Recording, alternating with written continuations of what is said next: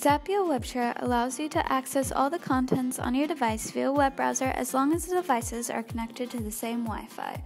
Once they are connected to the same Wi Fi, you simply just need to type in the generated HTML address that is shown on the Zapya WebShare application into the other device's web browser.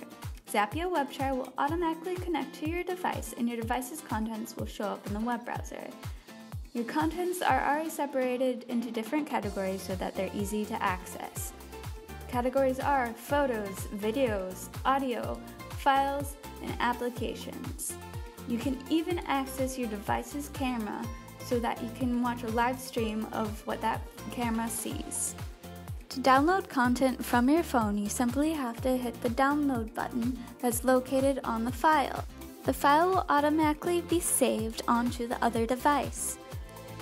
Besides transferring files, you can use the Instant Messenger feature available on Zapya WebShare so you can send messages between the two devices.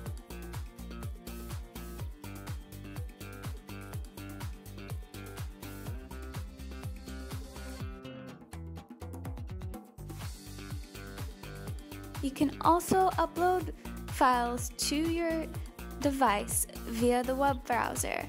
You simply have to drag and drop the file onto the upload button. The file will automatically be sent to your device and you can find it in the inbox section of the Zapya WebShare application. You can disconnect the devices once you are done sharing.